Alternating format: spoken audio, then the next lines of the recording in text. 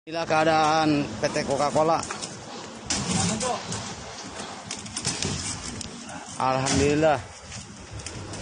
Ntar saya subrek ya jangan lupa.